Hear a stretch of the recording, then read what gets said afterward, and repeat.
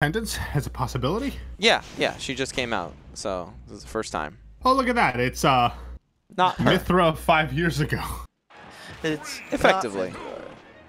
Not at all, actually. Not, uh, not Um, in any way. Pyra maybe, but like you're talking.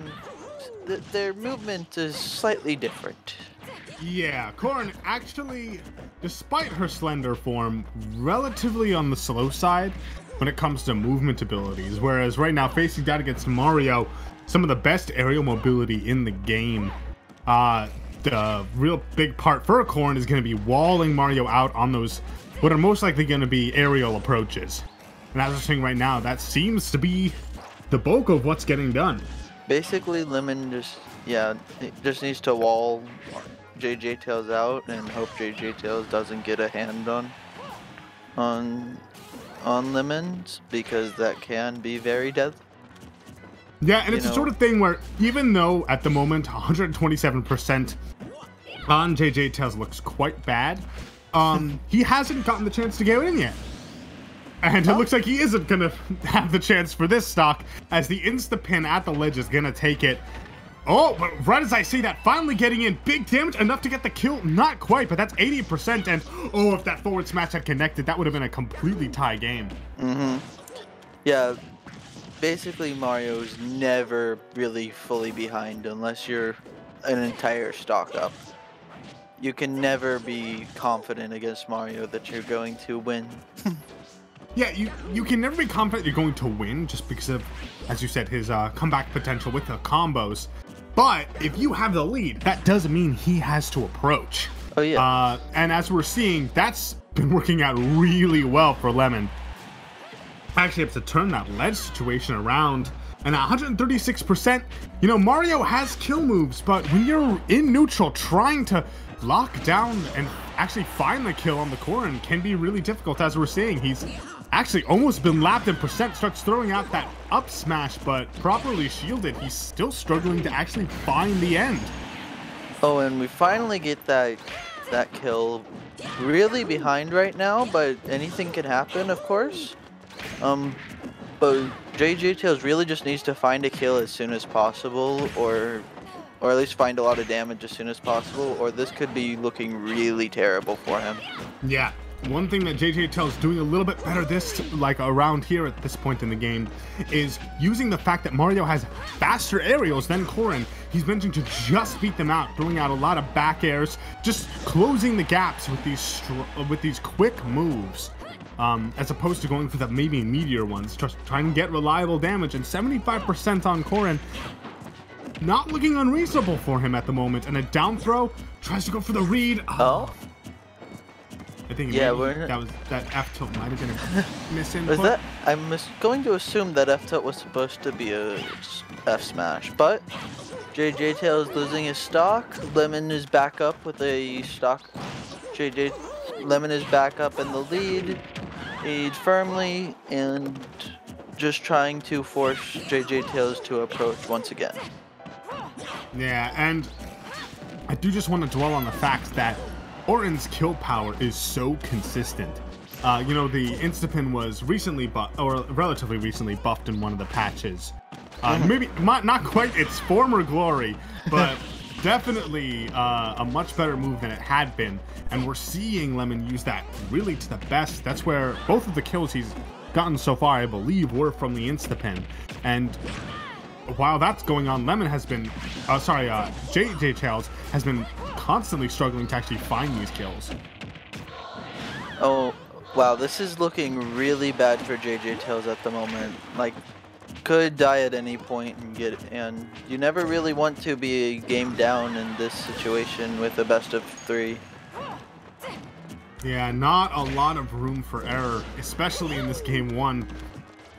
But if he's able to, he's been shielding the Instapin a lot more, right? As I say that, gets clipped, but it's the late hit, so it's not going to actually kill. But, um, oh, that might be a shield Oh. break? Oh, Whoa! okay. Yeah, the last second, and the sour spot on the down smash means that he's living at 135. Probably should have let that go a little bit sooner. Like once the, rapid hits stopped hitting the shield, it was really taking a risk. The thing Continuing is, I think he was looking for a shield break. Yeah. really wanted to pop that shield entirely, which meant getting that extra charge. Of course, it ended up backfiring. And now we have JJ Tails. He's at 140, but 65%. That percent is getting up there for Lemon. And I will say that the patience. Oh. Right as I say that, the ledge trap finally comes to fruition. Lemon taking game one, but at the end there, started to look like, uh, definitely, as you said before, he probably was shaking in his boots at least a little bit, given the Oh, potential definitely. of Mario. Oh, definitely. It was basically even at the percentages that they were at. You can't really ever be confident.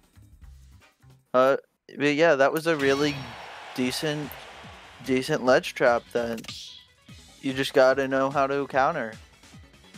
And JJ Yeah. Tails just decided to roll through, to attempt to roll through it, and well, doesn't work out that way, sadly. And it's worth noting that I believe two out of the three kills were made at the ledge, or rather, one was at the corner, one and another one was at the ledge. Whereas most of JJ Tails' kills, I think, were sort of off of raw moves, if I remember correctly. Just sort of Um, like I found the area that he so. needed to in order to take the stock.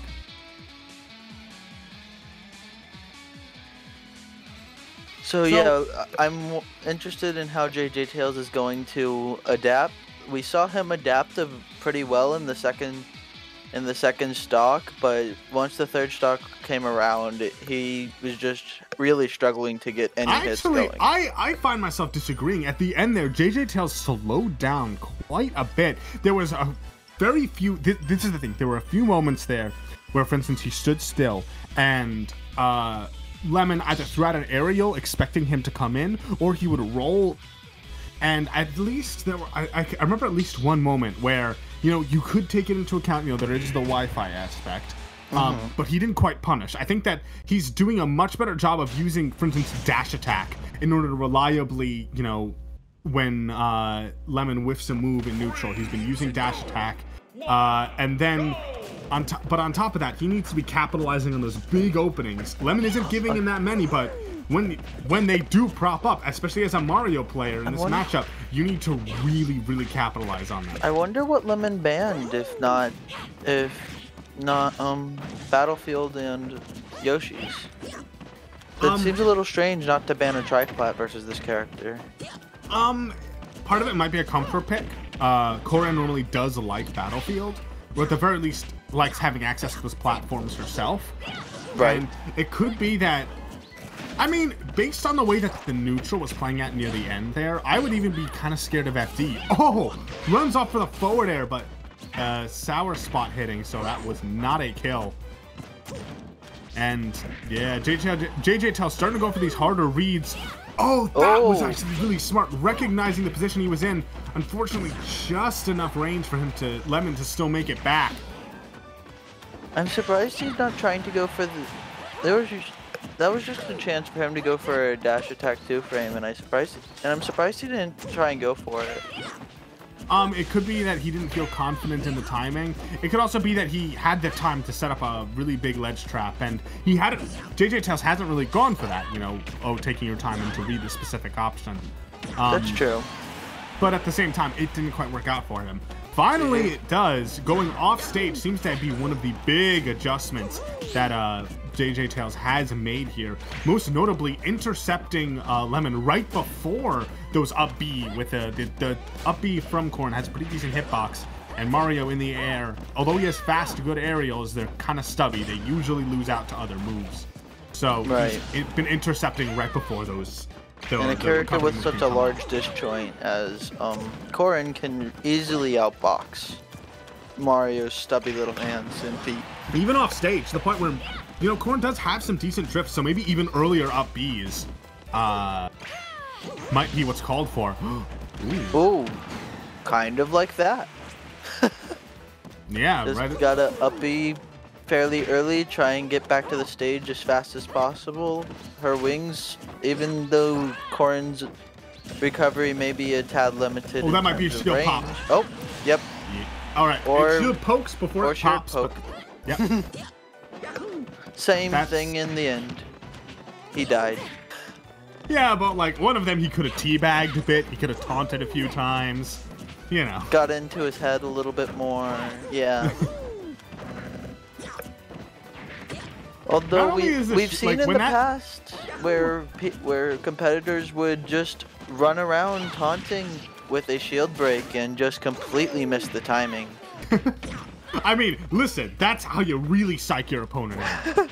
when they know they could be dead and now they're not, and then you kill them immediately afterwards anyway. That was just like the, the, the extra prolonged shield break. Where you let them get back to neutral and then you kill them. True. That's assuming that you end up killing them though. Of, of course, but I, I have confidence in JJ Tails. Or sorry, in Lemon rather. If he is had gotten a shield break and messed it up, he would have cleaned up the kill.